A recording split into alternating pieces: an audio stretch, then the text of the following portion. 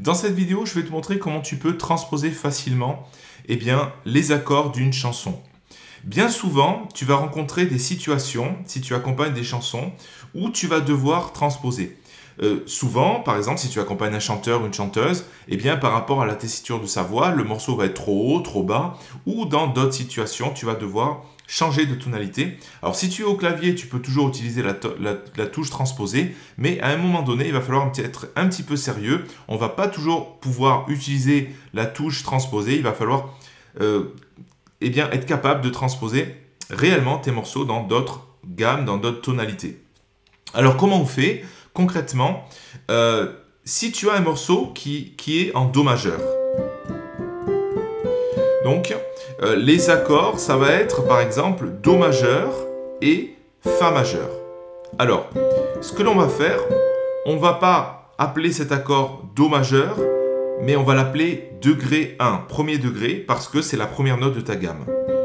Et puis le Fa, on va pas l'appeler Fa majeur, on va l'appeler degré 4, parce que c'est la quatrième note de ta gamme. Quatrième degré de ta gamme. Donc premier degré, quatrième degré. Première note de ta gamme, quatrième note de ta gamme, tout simplement. Donc accord majeur, accord majeur. Là déjà, tu as tout ce qu'il faut pour transposer dans d'autres tonalités. Alors on va prendre une autre tonalité, c'est-à-dire une autre gamme majeure. Là, on va prendre par exemple la gamme de si bémol majeur. Ça, suppose que tu connaisses bien sûr tes gammes majeures. Donc, si bémol majeur, c'est premier degré, donc première note si bémol, deuxième note do, troisième note ré, quatrième note, quatrième degré mi bémol, ensuite fa, sol, la et si bémol. Tu l'as peut-être compris, ce que l'on va faire, on va prendre la première note et la quatrième note, c'est-à-dire le premier degré et le quatrième degré, et on va construire les accords sur ces degrés-là. Donc, comme c'était le cas en Do majeur. Donc, accord majeur du premier degré de la nouvelle tonalité, Si bémol, et 1, 2, 3, 4, accord majeur eh bien, de la nouvelle tonalité, donc Mi bémol. Et voilà, j'ai transposé mon morceau, juste en pensant degré finalement, j'ai transposé.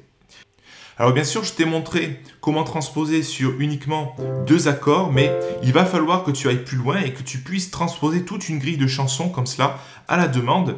Tu trouveras forcément des situations où tu seras amené à transposer et tu ne pourras pas compter que sur la touche transpose, d'autant plus si tu trouves sur un vrai piano. Je t'invite donc, si tu veux aller plus loin, à rejoindre ma liste de contacts. Tu peux visiter le site formation-clavier.com. Je te mets le lien dans la description de cette vidéo et tu pourras euh, eh bien, recevoir des clés pour progresser au piano instantanément et tu bénéficieras de bons plans pour mes cours à la carte. Je te dis à bientôt.